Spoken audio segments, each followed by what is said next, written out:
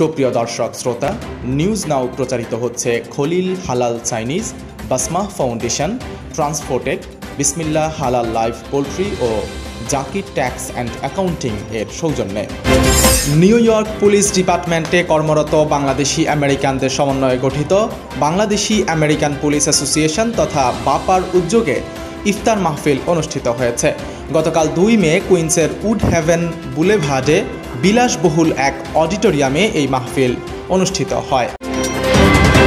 President Joe বাইডেনের নির্দেশে মার্কিন অনগ্রসর মানুষের জন্য সরকারি খাদ্য সহযোগিতা বানানো হচ্ছে, যা ফুড স্ট্যাম্প নামে পরিচিত।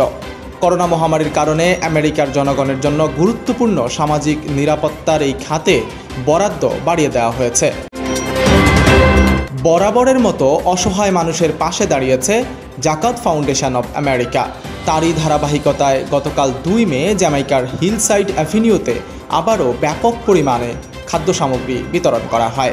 ফাউন্ডেশনের দায়িত্বশীল কর্মকর্তারা ছাড়াও সেখানে কমিউনিটির অনেক নেতৃবৃন্দ উপস্থিত ছিলেন।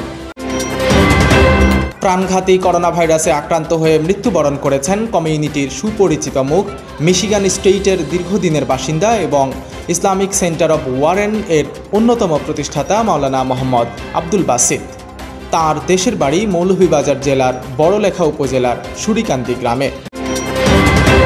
কমিউনিটি ব্যক্তিত্ব মঈন চৌধুরীর উদ্যোগে ইফতার বিতরণ করা হয়েছে। গতকাল দুই মে এই আয়োজন করা হয় নিউ ইয়র্কের ওজন পার্কে অবস্থিত আল ফুরকান মসজিদে। কমিউনিটির বিভিন্ন স্তরের নেতৃবৃন্দের পাশাপাশি মসজিদ কর্তৃপক্ষ এতে উপস্থিত ছিলেন। নিউ ইয়র্ক সিটি কাউন্সিলে আসন্ন ডেমোক্রেটিক প্রাইমারিতে ডিস্ট্রিক্ট এইটিন ব্রংস থেকে কাউন্সিলম্যান প্রার্থী হয়েছেন কমিউনিটি নেতা মির্জা মামুন রশিদ। তিনি আগামী বাইশ জুন নির্বাচনে জয়ী করতে বাংলাদেশি কমিউনিটির সবাইকে তার পক্ষে ভোট দিতে আহ্বান জানিয়েছেন।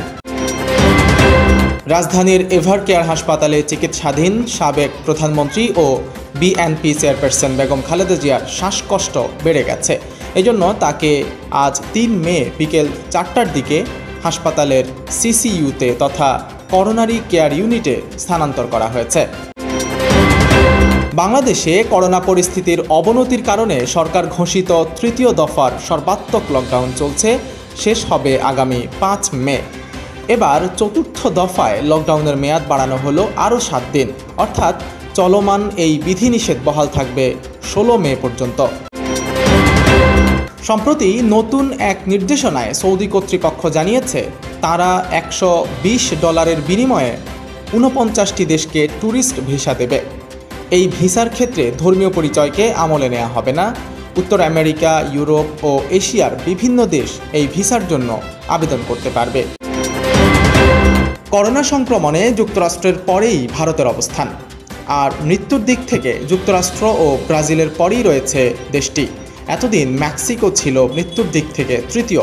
আজ তিন মে ওয়ার্ল্ডোমিটারের তথ্যে দেখা গেছে, মেক্সিকোকে পেছনে ফেলে তৃতীয় স্থানে উঠে এসেছে।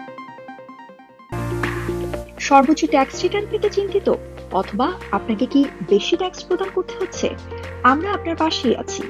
ব্যবসার অডিট ও অ্যাকাউন্টিং ব্যক্তিগত ও কর্পোরেশন ট্যাক্স ক্ষুদ্র ব্যবসার ট্যাক্স ও অ্যাকাউন্টিং এর জন্য দ্রুত এবং সবচেয়ে নির্ভরযোগ্য সমাধান পেতে আসুন জাকির ট্যাক্স অ্যান্ড অ্যাকাউন্টিং এ We provide accurate, fast, and reliable tax services for all 52 states. Call today at 929 207 1516.